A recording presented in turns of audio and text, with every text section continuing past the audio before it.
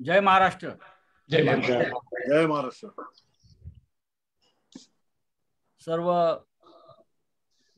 आता मंचावरच म्हणावं लागेल आता हा मंच फार मोठा आहे महाराष्ट्रात पसरलेला. या मंचावरचे सगळे आपले प्रमुख नेते पदाधिकारी आणि राज्याच्या कानाकोपऱ्यातून हा कार्यक्रम आपला स्वतः पाहत असलेले ऐकत असलेले सर्व शिवसैनिक. हिंदुहृदय सम्राट शिवसेना प्रमुख बाळासाहेब ठाकरे यांना अभिवादन करण्यासाठी आपण सगळे उपस्थित आहोत. मग अशी देसाई साहेबांनी सांगितले त्यानुसार तंत्रज्ञानाच्या माध्यमातून तंत्रज्ञानाच्या माध्यमातून आपण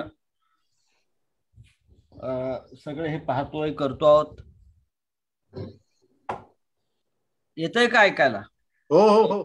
होय होय. येस आज बाळासाहेब असते तर शहाण्णव वर्षांचे असते. शहाण्णव वर्षांचे असल्यामुळे बाळासाहेब पण बाळासाहेबांनी सतत तरुणांना प्रेरणा दिली. तरुणांचं नेतृत्व केलं.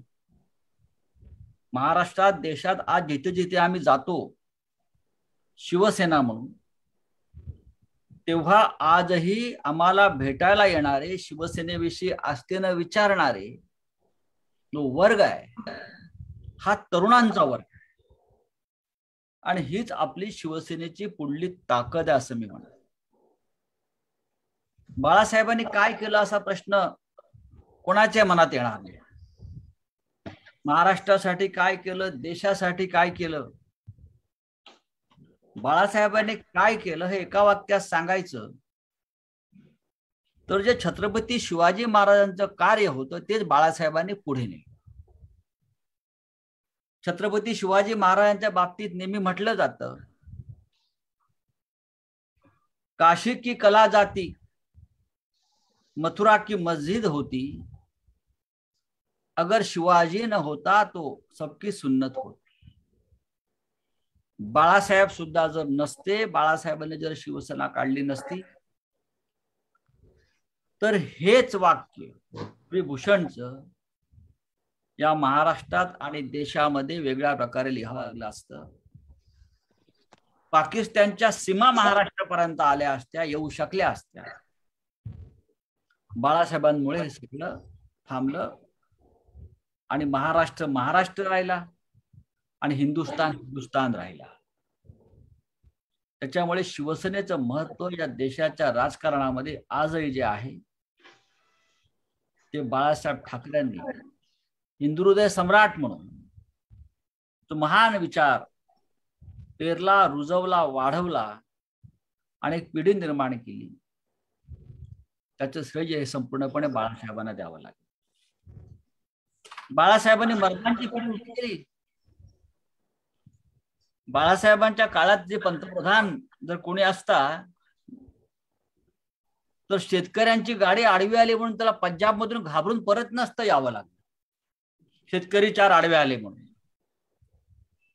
आज या देशाचे पंतप्रधान पंजाब मधून परत येतात त्यांना शेतकऱ्यांची भीती वाटते. शेतकऱ्यांची भीती वाटावी या देशामध्ये असं वातावरण कोणी निर्माण केलं? मगाशी माझ्या कानावरती कोणीतरी एक चांगली कविता फार कविता मोठी पण त्याच्या चार ओळी फार महत्त्वाच्या आहेत. बाळासाहेबांचं स्मरण म्हणजे राजकारणच असतं लक्षात घ्या. बाळासाहेबांनी राजकारण उत्तम प्रकारे केलं. चार ओळी तुम्हाला मी सांगतो.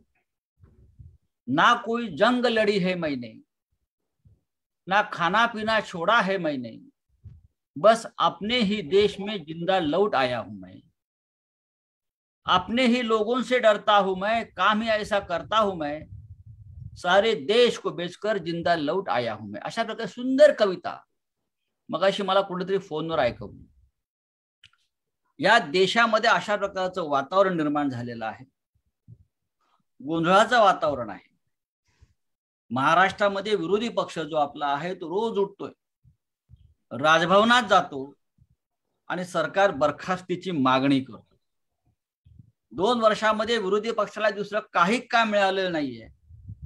राज्यपालांची वेळ घ्यायची राजभवनात जायचं आणि ह्या किंवा त्या कारणानं सरकार बरखास्त करायचे. आता पाकिस्तानातून धुळीचा लोट कुठेतरी आलेला आहे. आज जे प्रदूषण चाललंय सर्वत्र अनेक भागामध्ये प्रदूषण आलेलं आहे आणि ते पाकिस्तानातून ते धुळीचे लोट आलेले आहेत असं मी मगाशी वाचलं आता पाकिस्तानातून धुळीचे लोट महाराष्ट्रावरती आले आहेत. म्हणून भारतीय जनता पक्षाचे लोक उद्या राजभवनात जातील. आणि म्हणतील सरकार बरखास्त करा. हे धुळीचे लोट महाराष्ट्रावरती आलेले गेल्या दोन वर्षामध्ये महाराष्ट्राचं सरकार उद्धव ठाकरे यांच्या नेतृत्वाखाली अत्यंत सक्षमपणे चाललेलं आहे. गेल्या दोन वर्षामध्ये महाराष्ट्राच्या मुख्यमंत्र्यांनी महाविकास आघाडीने शिवसेनेच्या नेतृत्वाखाली या देशामध्ये एक आदर्श सरकार देण्याचा प्रयत्न केलेला. पाच मिनिटमध्ये इथे जे आपण सगळे आज ऐकतो आहे बोलतो आहोत भाषण करतो आहोत यातले नव्वद टक्के लोक कधी शाळा कॉलेजमध्ये मिरिटमध्ये आले नसतील. पण महाराष्ट्राच्या आपले मुख्यमंत्री गेले दोन वर्ष सातत्याने मेरिट लिस्टमध्ये येत आहेत. कधी पहिल्या पाचामध्ये येत आहेत पहिल्या चारामध्ये येत आहेत ही आपल्यासाठी अभिमानाची गोष्ट आहे. सूर्यावर किती थुंकण्याचा प्रयत्न केला तरी उद्धव ठाकरे यांचं मुख्यमंत्री म्हणून होणारं कार्य पक्षप्रमुख म्हणून होणारं कार्य याचा त्रास विरोधी पक्षाला होतो आहे. आणि एका वैफल्यातून ते सातत्यानं शिवसेनेवरती आरोप करतायत सरकारवरती आरोप करतायत. मी या निमित्तानं महाराष्ट्राच्या कानाकोपऱ्यात ऐकणाऱ्या सगळ्या शिवसेनेच्या पदाधिकाऱ्यांना जिल्हा प्रमुखांना नेत्यांना माझ्या सहकाऱ्यांना सांगेन की आपण ठामपणे उभं राहिलं पाहिजे. आपल्या पक्षप्रमुखाच्या मागे आपल्या मुख्यमंत्र्याच्या मागे आणि शिवसेनेच्या मागे. ही लढाई साधी नाहीये. आज फक्त शिवसेना या सरकारचं नेतृत्व करत आहे म्हणून केंद्राची हिंमत होत नाही सरकार बरखास्त करण्याची लक्षात घ्या. हे सरकार जर दुसऱ्या कोणाच्या लिडरशिप खाली असते किंवा या सरकारचं नेतृत्व उद्धव ठाकरे करत नसते तर मला खात्री आहे केंद्रातल्या सरकारनं हे सरकार एवढ्याला पांगळं करून सोडलं असतं आणि बरखास्तीच्या दिशेने आपण गेलो असतो. माननीय मुख्यमंत्री उद्धव ठाकरे साहेब दिसत आहेत मला आलेले आहेत. हे विरोधी पक्षानं पाहायला हवं. रोज सकाळी उठायचं आणि मुख्यमंत्र्यांच्या प्रकृतीविषयी काहीतरी अफवा पसरवायच्या. पण मी रोज महाराष्ट्राचे मुख्यमंत्री आणि महाराष्ट्राचं सरकार हे ठणठणीत आहे. स्वतःच्या पायावर उभा आहे. आज सकाळीच मुख्यमंत्र्यांनी वर्षावरती नेताजी सुभाषचंद्र बोस आणि माननीय बाळासाहेबांना अभिवादन करतानाची छायाचित्र प्रसिद्ध केलेली आहेत. ही छायाचित्र मी स्वतः अनेकांना पाठवली आहेत. आणि म्हटले पहा मुख्यमंत्र्यांनी स्वतः येऊन बाळासाहेबांना अभिवादन केलं. हे कारण तुम्हाला पचणार नाही म्हणून उद्या राजभवनात जातील आणि सरकार बरखास्तीची मागणी करतील. या विरोधी पक्षाचा काही भरोसा राहिलेला नाही.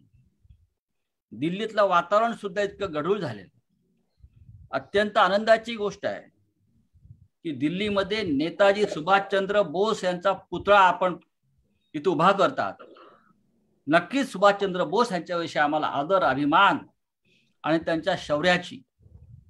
नक्कीच आम्हाला त्यांची महती आम्ही गातो. पण याचा अर्थ देशाचा इतिहास ज्या प्रकारे रोज बदलला जातो आहे जणू काय गेल्या सत्तर वर्षात काही झालं नाही तर कोणी काही केलं नाही हे राजकारण देशाला परवडणार नाही. आणि याविषयी माननीय पक्षप्रमुखांनी शिवसेना पक्षप्रमुखांनी एक भूमिका घेऊन देशाला मार्गदर्शन करणं गरजेचं आहे. नेताजी सुभाषचंद्र बोस यांच्या इतकंच महत्वाचं काम आहे. देशामध्ये हिंदुहृदय सम्राट सेनापती बाळासाहेब ठाकरे यांनी स्वातंत्र्यानंतर केले. मी तर असं म्हणेन भविष्यामध्ये दिल्लीत हिंदुहृदय सम्राट बाळासाहेब ठाकरे यांचा सुद्धा अशाच प्रकारचा पुतळा उभारण्यासाठी आपण सगळ्यांनी प्रयत्न केले पाहिजे. बाळासाहेब ठाकरेंनी देशाला दिशा दिली देशाचं रक्षण केलंय. आणि नेताजींच्या बरोबरीनं आमच्या सेनापतींना सुद्धा राष्ट्राच्या राजधानीमध्ये मुलाचं स्थान देण्यासाठी शिवसेनेनं या संपूर्ण देशामध्ये आपले हातपाय पसरणं पक्ष वाढवणं पक्षाचा विस्तार करणं यासाठी प्रत्येकानं शर्त केली पाहिजे. हे वर्ष आपल्यासाठी आनंदाचे यासाठी आहे की महाराष्ट्राबाहेर आपला एक खासदार पक्ष निवडून आला. आणि इतर सुद्धा आपण काम करत आहोत. आणि मला खात्री आहे की आज आपण माननीय पक्ष प्रमुखांचे विचार ऐकू त्यांचं मार्गदर्शन ऐकू. आणि या महाराष्ट्राला देशाला एक नक्की आजच्या दिवशी शिवसेना प्रमुखांच्या जन्मदिवशी आपले पक्ष प्रमुख मार्गदर्शन करतील. आणि संपूर्ण देश त्यानुसार जाईल इतकंच मी सांगतो. आणि तूर्त आपली रजा घेतो. जय हिंद जय महाराष्ट्र.